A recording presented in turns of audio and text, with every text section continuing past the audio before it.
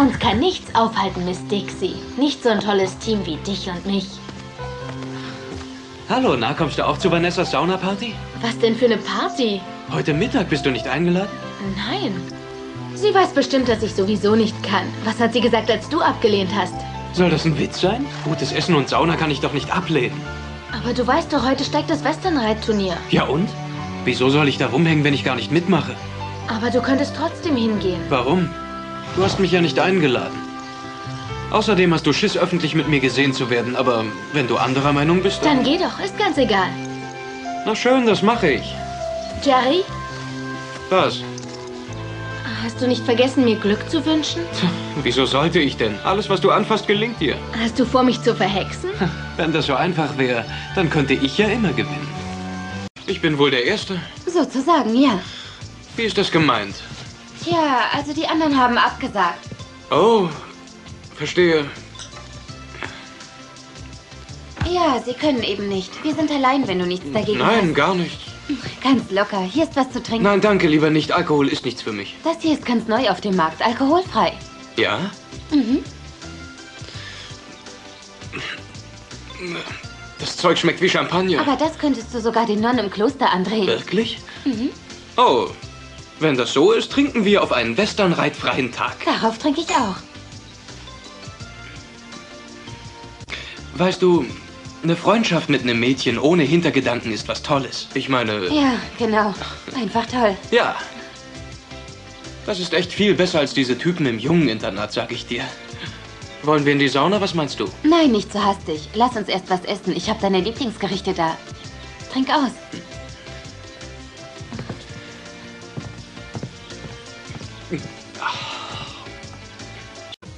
Voila! Zweistöckige Schokotorte mit Vanillecreme-Füllung. Wirklich? Ist ja abgefahren. Das ist meine absolute Lieblingstorte. Das weiß ich. Ich habe deine Mutter gefragt. Hast du das, ja? Hm, Ich habe irren Durst. Ich hol mir ein Glas Wasser. Willst du? Ist da wirklich kein Alkohol drin? Nein, echt nicht. Die Bläschen können einem zu Kopf steigen. Die was? Das hast du immer bei Traubensaft mit Kohlensäure. Bläschen? Mhm. Ich hol dir erstmal einen Schluck Wasser, dann gehen wir in die Sauna. Das macht dich wieder fit. Bläschen. Komm, du Faultier. Wo ist deine Badehose, hä? Was? Keine Ahnung. Jerry, zieh dein Hemd aus. Brauchst du Hilfe? Nein, nein, hör auf. Ich bin oh, der kitzlig. kleine Jerry ist kitzlig. Nein, hör auf Na, damit. komm schon, Jerry. Hör auf, bitte. Vanessa, Mama, was machst du denn hier? Du wolltest darf ich doch... mal fragen, was das zu bedeuten hat? Wir, wir wollten nur in die Sauna nach dem Essen, Frau Held. Und ihr habt getrunken. Oh nein, das ist nur dieses alkoholfreie Zeug. Ach ja, und wieso bist du dann angetrunken? Was? Dachte ich's doch. Champagner. Es war doch nur eine Flasche. Ich hätte es wissen sollen. Heißen Dank für diese Einladung. Hör mal, Hm, klingt ja schrecklich. Hallo. Hat Wendy schon allen Richtern des Turniers den Kopf verdreht? Was ist denn? Habe ich was Falsches gesagt? Sie ist nicht auf dem Turnier. Sie ist im Krankenhaus. Im Krankenhaus? Sie wird nicht mitreiten. Sie hat im Augenblick eine gewaltige Pechsträhne.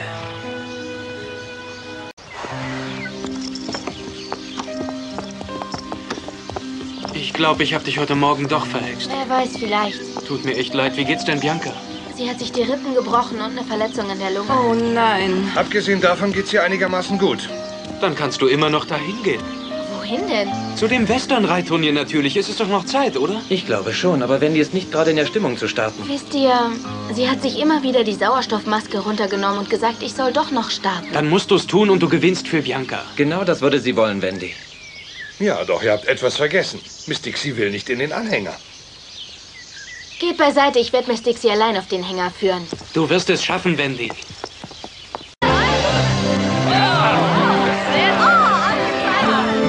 Schon, Wendy, noch zwei Fässern, du hast es geschafft. Wendy, nicht so nah ran, nicht so nah.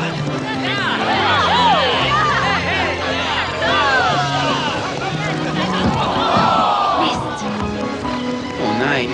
Was, was hat das zu bedeuten? Ist sie draußen? Nein, noch nicht. Kann sie sich noch platzieren? Keine Ahnung. Sie muss jetzt unbedingt die Nerven behalten.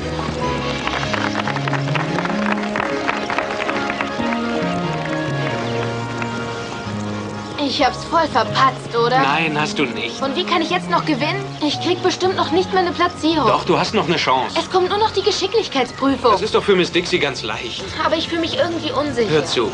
Du hast Talent, du siehst spitze aus. Und Glück hast du auch. Ich und Glück? Herr Krämer, ist irgendwas mit Bianca? Nein, sie hat nur darauf bestanden, dass ich herkomme und dir das hier vorbeibringe. Obwohl ich selbst sterbenskrank bin. Hier, Was ist das?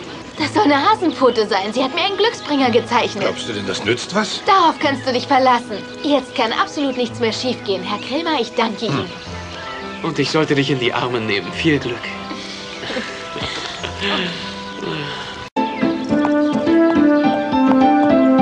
Soweit ist es ganz gut. Wendy, los! Oh, tut mir leid. Ich sollte nach Hause gehen und mich wieder hinlegen. Danke fürs Kommen, Paul. Ja, Was ist denn passiert? sie hält sich fantastisch. Sehen Sie.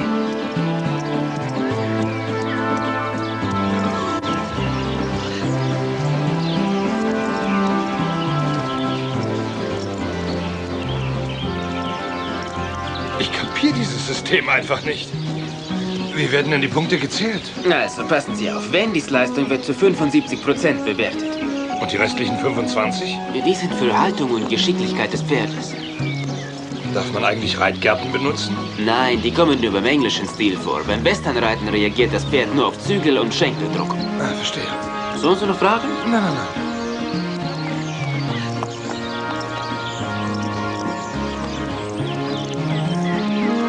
Wenn Sie was nicht verstehen, fragen Sie ruhig. Wie sollen Sie sonst was Vielen lernen? Dank, Flavio.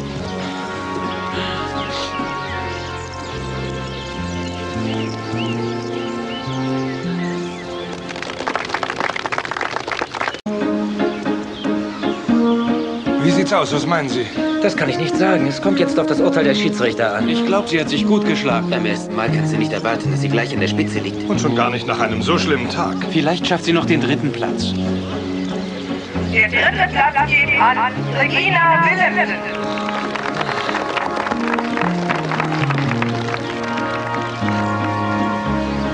Jetzt pass auf, als nächste kommt Wendy. Auf dem zweiten Platz ist Monika Söderström. Ist doch schön, dass sie es wenigstens so weit geschafft hat. Richtig, und wir müssen sie weiter unterstützen. Sie darf nicht den Mut verlieren. Was soll's? Wendy ist ja schon ein Champion beim Springreiten. Und die Gewinnerin des deutschen Hufeisens ist Das Mädchen kann doch nicht überall gewinnen. Wendy Dorting. Das ist